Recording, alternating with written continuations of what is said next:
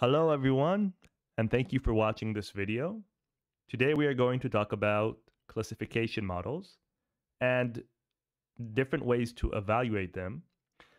We're not really going to deep dive into everything, but just go over the definitions themselves to kind of help us make sense of everything. In my experience, these definitions can often be confusing and they can scramble together one with another. And well, hopefully this video will help you make sense of everything. Now, suppose we want to train some sort of classification model that will help us predict whether someone has a certain disease or does not. If someone has a disease, then we refer to that as a positive sample. And if someone doesn't have the disease, then we refer to that as a negative sample. And when we have this classification model and a new person, a new sample arrives, then that model should be able to predict whether it's a positive or negative sample. And when we look at the outcome of the model compared to the real world, we can divide these outcomes into four different groups. True positive, false positive, false negative, and true negative. Now, to kind of understand these definitions better, let's use this table down here below, which is also referred to as a confusion matrix.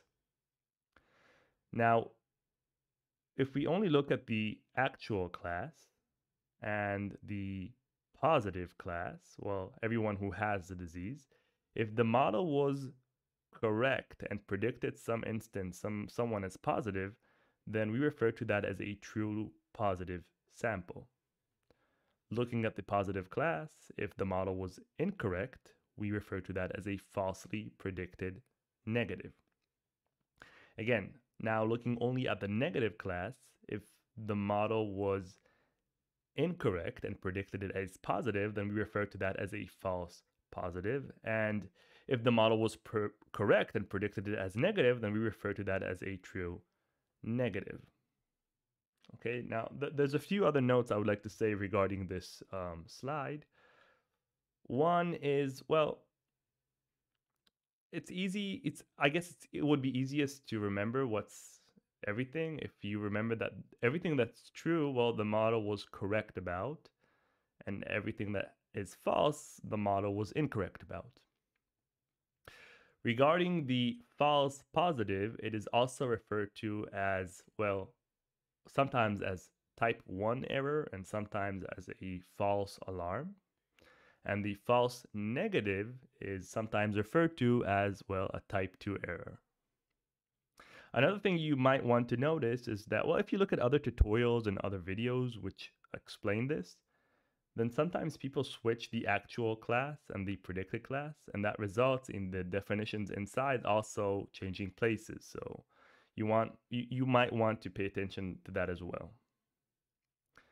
Now, moving forward, what we want to do is to understand these definitions better through visualization. So we'll, we'll take a look at two different visualizations. In the first one, what we have is, well, the two different distribution, the positive, people who have the disease, and the negative, people who do not have the disease. And the horizontal axis over here can represent, well, whatever we want. I mean, oh, if we're talking about a disease, maybe a good idea is to represent it as, well, maybe some sort of medical test that has a numerical value, maybe a blood test with a numerical value. And the y-axis, the vertical axis, uh, represents the number of people, the number of samples. So uh, looking only at the positive class, um, well, relatively, there are many people in the positive class who have these values of the medical test uh, uh, value. And well, when we train a model, we get a threshold. And then when a new instance arrive, and on that new instance, we do not know if it has or does not have the disease. And that instance takes the medical test. If the value is above the threshold, then the model would predict it as a positive sample, and if it's below, then the model would predict it as a negative sample. And you can see by this visualization that the threshold divides our data into four different groups. Connecting that to the previous slide, again, looking only at the positive class, the threshold divides it into the truly predicted positive and the falsely predicted negative. And looking only at the negative class, the threshold divides it into the truly predicted negative and the falsely predicted positive. Let's move forward to talk about the next visualization. Over here, we have the two different classes, and our model prediction is represented by this blue rectangle over here. So anything inside this blue rectangle over here, our model predicts as positive. And we connect that again to what we saw in the previous slide. So looking only at the positive class, we can divide it into two different groups, the truly predicted positive and well, whatever is outside and it's the falsely predicted negative. And looking only at the negative class, it's again divided into two groups, the truly predicted negative and the falsely predicted positive. Okay.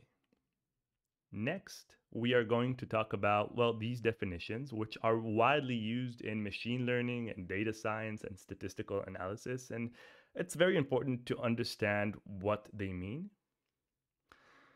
um, let's start with accuracy, which I guess it's easiest to understand and I'll, probably also easiest to explain as well. Accuracy is defined as well, whatever is true or truly predicted, true positives and true negative divided by, well, everything. So if I'd had to put it in words, is, well, how well did your model perform regarding the two different classes, positive and negative? How many instances was the model correct about? Um, moving forward, let's talk about precision. Precision is defined as true positive divided by true positives and the false positives. Well, whatever's inside this blue rectangle. So trying to put that into words, it's how well did your model perform regarding its prediction of the positive class?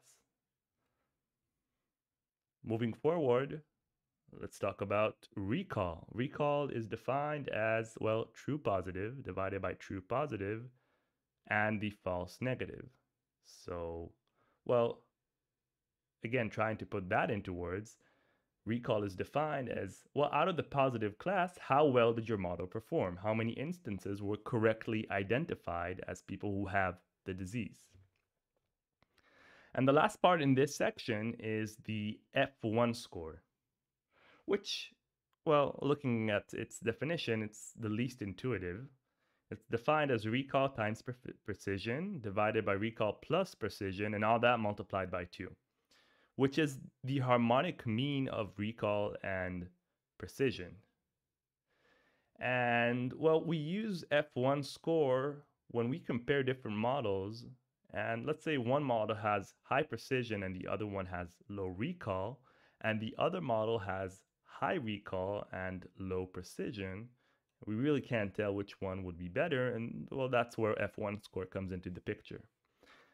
Another use for F1 score is that, well, you saw what accuracy does. Accuracy, well, that that calculates how well the model performed regarding the two classes. But if they're not evenly distributed, well, then that's where F1 score comes into the picture, and it's a better metric to evaluate the performance of the model. It's also important to know that F1 score is also referred to as F score and F measure.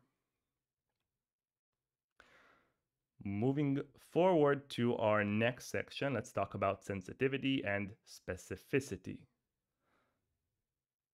Sensitivity has two other names.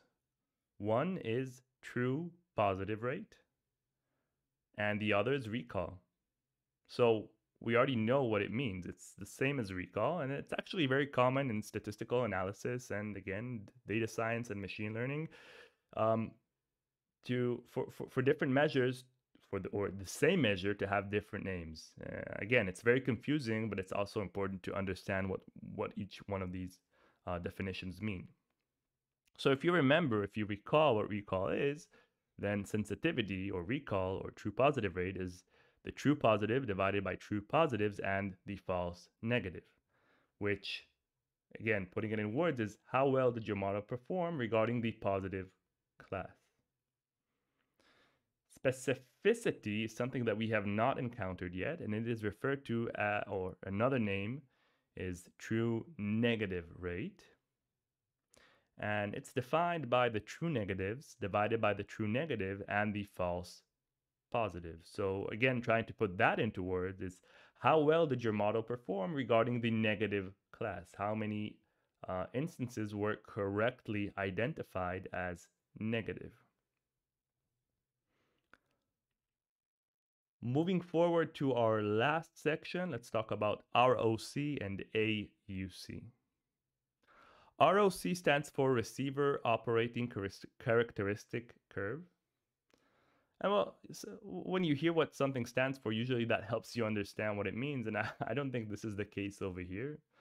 Uh, I will say that ROC was developed somewhere in the 1940s by the military, and it was used to evaluate uh, radar systems, and that's where the name comes from.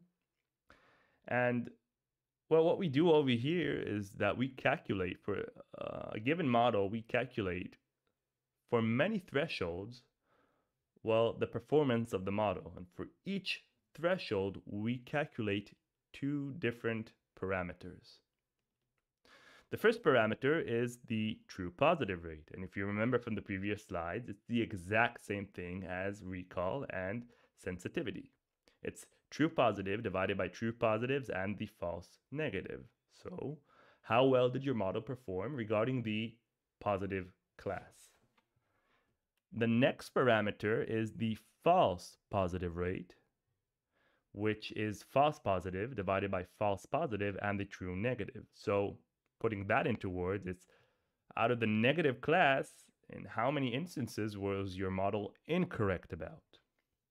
And intuitively, we want the true positive rate to be as high as possible and the false positive rate to be, well, as low as possible. Because, well, we want to have more true positives and we would like to have uh, well less false uh, positives. And if you search for an ROC curve online, you'd probably see something like this. What we have over here on the horizontal x-axis is the false positive rate, and on the y vertical axis, we have the true positive rate. So the best threshold performance would be uh, at this point over here, 1 for the true positive rate and zero for the false positive rate. Obviously, that's very hard to achieve. And well, what we have over here is different dot. Each dot is represent represents a different threshold. And well, that helps us choose the best thresholds that we would like to use for the model.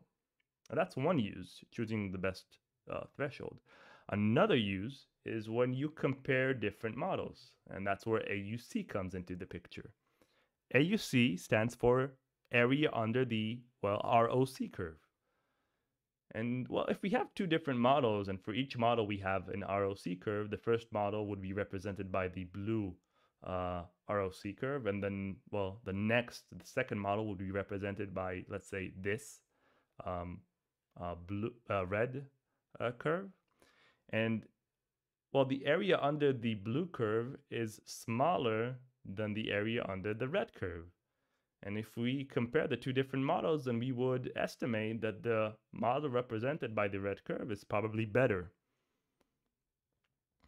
Okay, well, that's it. Thank you for watching this video. I hope it was helpful. Let me know in the comments below. And uh, also let me know if you'd like me to make any videos on any other subject.